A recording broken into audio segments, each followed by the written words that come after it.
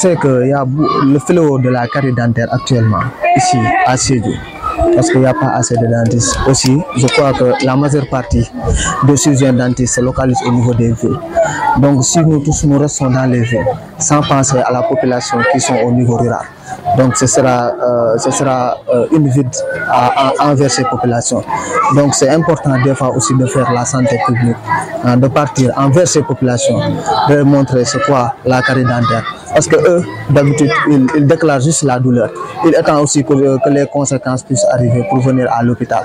Donc avant, avant tout cela, il faut, il faut aller à ces populations, leur montrer c'est quoi la carie dentaire, prendre en charge la prévention surtout, c'est important, surtout les enfants. La cible c'était au niveau des DARA et au niveau des écoles. Bon, on a fait euh, le DARA de, de, Ma, de Massaria et l'école de Maronkunda.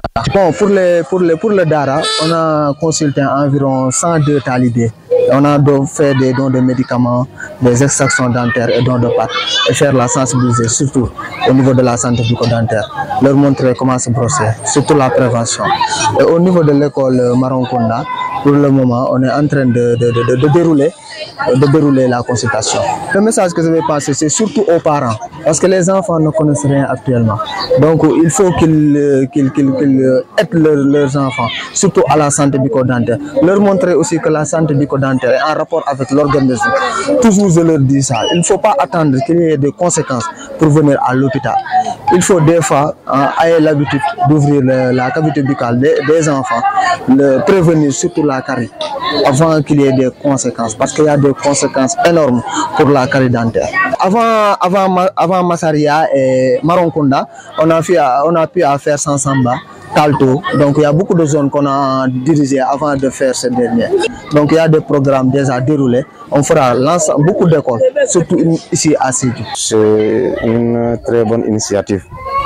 Ça va soulager les, les talibés qui souffrent de problèmes bucco-dentaires.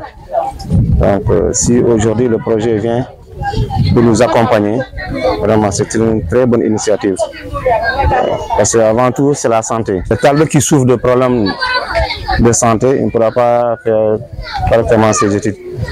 Mais quand la santé est là, la, la, la bonne santé, il faudra vraiment suivre les apprentissages euh, quotidiens. L'impact que cette journée va donner aux enfants, d'abord, ça va permettre aux enfants de savoir comment utiliser la brosse à dents, comment se brosser les dents?